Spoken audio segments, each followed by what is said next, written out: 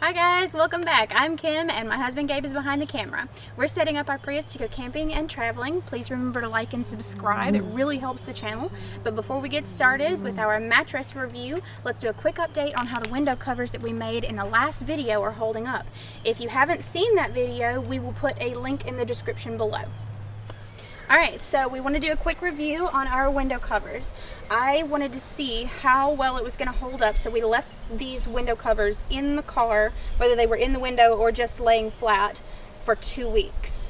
So far, they still fit snugly. My fabric glue is holding really well, which is this, I'm sorry, this is tacky glue. The tacky glue is holding really well, and the hot glue around the edges is still holding really well, okay? We'll let you know more as soon as we know. Alright, let's talk about this video's mattress review. We got it from Amazon and we paid about $100 for it, but the price seems to fluctuate between about 100 to $125. Um, we're gonna have an unboxing, let you see what it's like. And so far, with the un, uh, the off gassing, a lot of people are asking about that. We didn't experience a whole lot of that. Um, it, wasn't too terrible. Um, it fits really well in the vehicle. It's four it's four inches thick, um, half uh, one and a half inch thick memory foam, and two and a half inch high density foam for the base. Okay, so really quick, I want to talk to you about our first night sleeping in the Prius on our new mattress.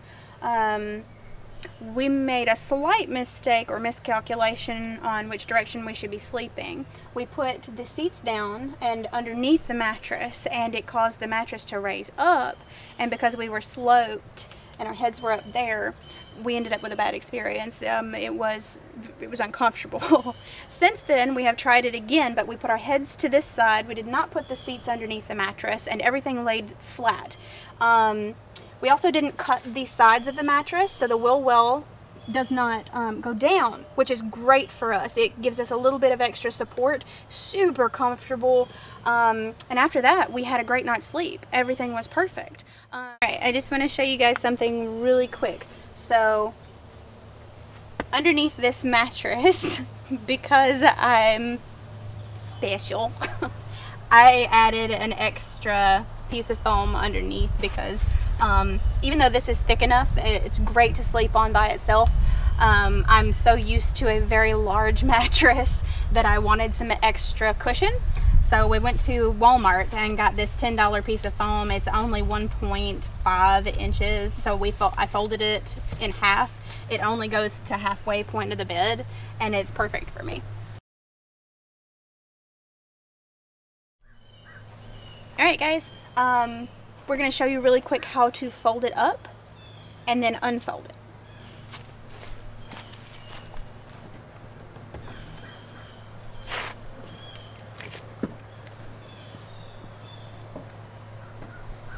Alright, this is all the way folded up.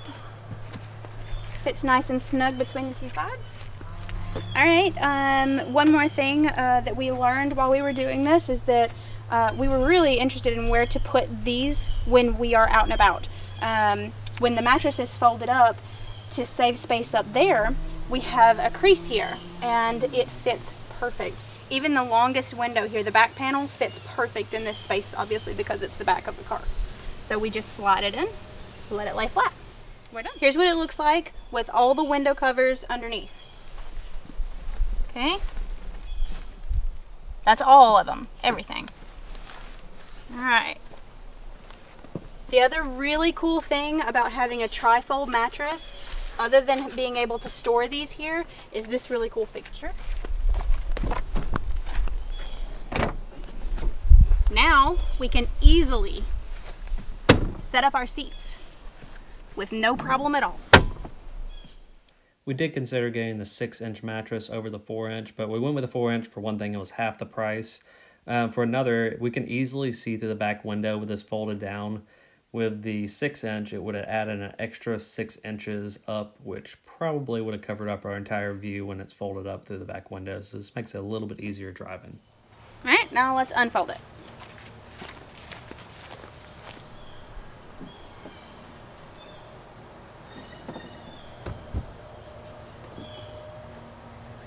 Alright, just that simple. Okay, that's it for this week. Please like and subscribe so you can check out the next video that we have on setting up our Prius for camping. And we'll see you next time.